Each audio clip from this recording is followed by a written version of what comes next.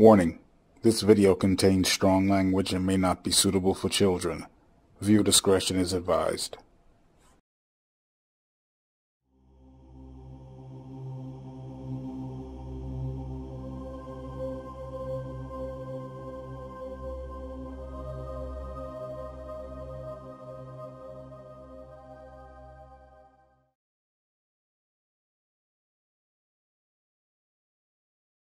Flew to 500 today.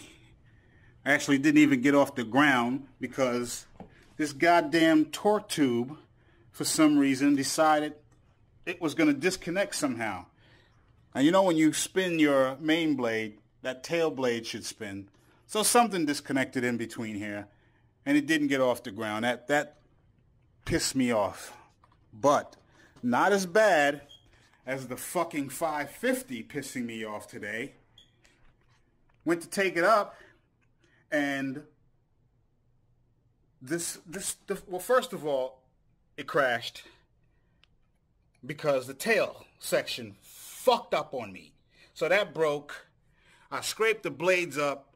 It's got a nice little chip here on the blade somewhere, right there. But I can get over that. I'll still fly the shit with that. I don't give a damn. But this, this right fucking here. See that shit? This whole thing snapped off in flight. Just broke off. You know, it's not like I'm doing 3D or any hard flying. It's scale flying. And this is brand new. Three flights with this fucking 550 and this shit breaks off. Unbelievable, man. Yeah, it might be minor damage. That's easy to replace. But it's the fact that this shit happened. It's not like, you know, I crashed mechanical failure. Landing gear, the skid or the pipe bent.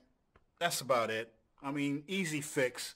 But the fact that the shit happened, I'm upset. So now I got to take this apart. Back to this 500 again. This, I swear, I want to kick this goddamn helicopter so bad. So bad.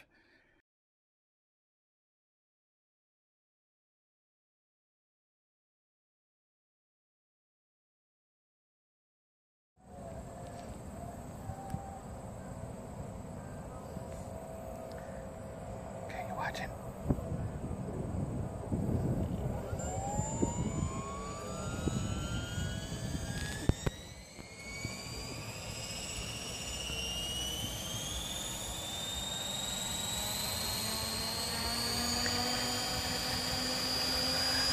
Here it goes.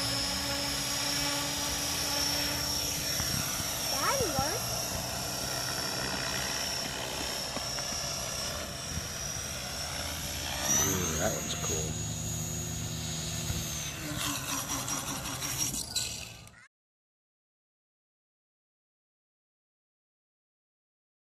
If the machine breaks down, we break down.